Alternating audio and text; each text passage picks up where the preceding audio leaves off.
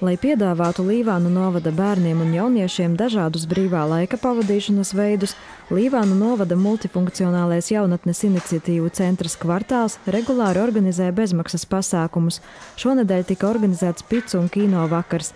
Pirmajā daļā bērni ar centra darbinieku palīdzību varēja izmēģināt pagatavot pizzas mājas apstākļos. Neskatoties to, ka kvartālā mērķa auditorija ir no 13 gadu vecuma, bet tik pa laikam mēs arī organizējam šos pasākumus gan jaunākiem bērniem, lai, lai viņi redz, kāda tā dzīve kvartālā ir un kāda dzīve viņus sagaida. Nav arī svarīgi, vai tu māki kaut ko taisīt pizzai līdzīgi vai nemāki te brīvi tā, tā improvizācija. Tu atnāc, tu pat vari izvēlēties, vai tu uh, tikai tur sieru parīvē nedaudz, vai arī tu veido konkrēti visu pīcu, vai tu arī pavēro no malas.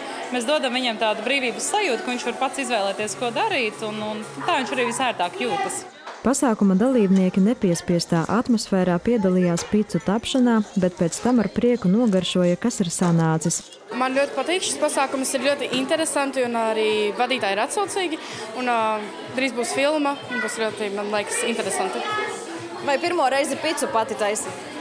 Nē, es jau esmu taisījis pīcis iepriekš, arī līdzīgā pasākumā. Garšo pīcis? Jā. Labprāt gribētu vēl šādu pasākumu?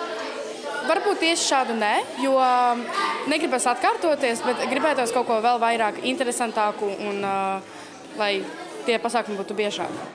Pasākuma otrajā daļā varēja skatīties filmu. Kino vakari kvartālā notiek regulāri, reizi mēnesī.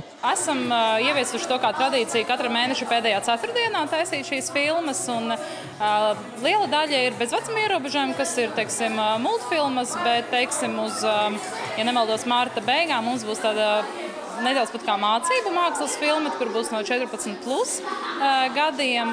Bet katru mēnesi savādāk. Mēs bieži vien Instagramā uztaisam aptauju pašiem jauniešiem, kas būtu filmas, ko viņi grib redzēt. Sākot no žanra, vai tā ir komēdija, vai tā ir mākslas filma, vai tā ir multene. Un tad arī varbūt konkrētas filmas, kur viņi paši nobalso par filmu. Pīcu un kino vakarā tika demonstrēta filma Kā pieradināt puķi. Sociālajā tīklā Instagram tika piedāvāti divi varianti Otrs bija LEGO filma, bet bērni un jaunieši balsojumā izvēlējās skatīties filmu Kā pieradināt pūķi. Sandra Pēgiļkalne, Kaspars Daņļevičs, Vidusdaugavas televīzija.